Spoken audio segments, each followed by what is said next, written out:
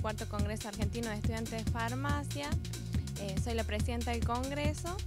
Eh, desde la carrera de farmacia, por supuesto, es un gran desafío porque bueno, es apoyar eh, a todos estos estudiantes que en algún punto tienen esa inocencia aún de la, profesión, no están contaminados. Son un motor que nos nutren a nosotros como docentes, como, como directores, como coordinadores, como gestores de, de las carreras.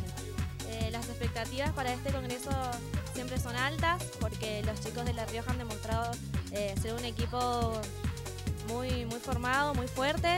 El programa es eh, muy extenso, eh, abarca bien lo que es el título que le han puesto, ampliar la visión del rol farmacéutico. Vengo de Perú, soy de la Universidad Nacional Mayor de San Marcos, estudio farmacia y bioquímica allá y vengo en representación de la Asociación Peruana de Estudiantes de Farmacia y Bioquímica. Y estamos con todas las ganas de aprender todo lo que nos ofrece el Congreso y de la misma manera también aprender de la cultura de Argentina, ¿no? porque hemos venido conociendo diferentes eh, regiones como Mendoza, como San Luis y hoy hemos terminado aquí en La Rioja. Hicimos una visita guiada al laboratorio Beta,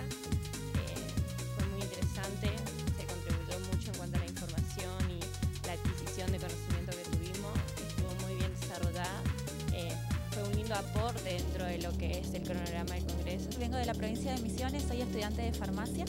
También vengo de la Facultad de Misiones impresionados por las montañas de La Rioja, el paisaje es bellísimo. Y expectativas muchas, muchas en cuanto a lo académico, en cuanto a todas las actividades que hay, sobre todo por lo que comentaba Tamara, las visitas guiadas a los laboratorios que en nuestra provincia no tenemos.